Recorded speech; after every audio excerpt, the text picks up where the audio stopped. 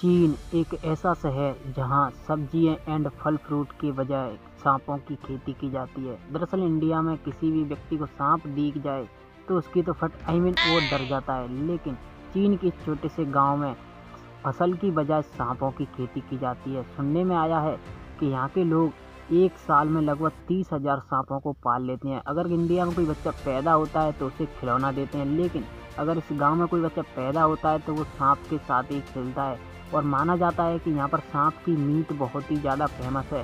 Gas इस काम के बारे में आपका क्या ख्याल है? हमें नीचे चैट में ज़रूर बताएँ। ऐसी और अमेजिंग वीडियोज़ के लिए आप हमारे चैनल को लाइक से सब्सक्राइब मिलते हैं अगली वीडियो में। जय हिंद।